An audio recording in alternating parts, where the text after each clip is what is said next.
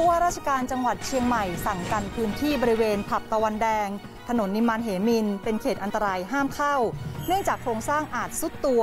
หลังเหตุเพลิงไหม้มีผู้สูญหายหนึ่งรายเป็นผู้จัดการร้าน ซึ่งขณะเกิดเหตุอยู่ที่บริเวณชั้น 2 สาเหตุและมูลค่าความเสียหายอยู่ระหว่างตรวจสอบ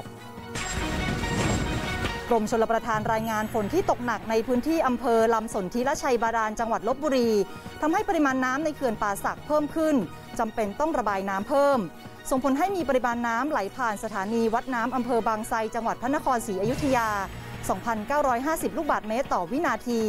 พร้อมแจ้งเตือนพื้นที่ได้รับผลกระทบท้ายอ่างแล้ว